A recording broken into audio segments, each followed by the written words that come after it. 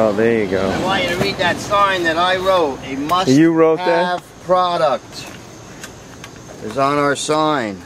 So you took the time to write that it's a must-have Yeah. product. I did.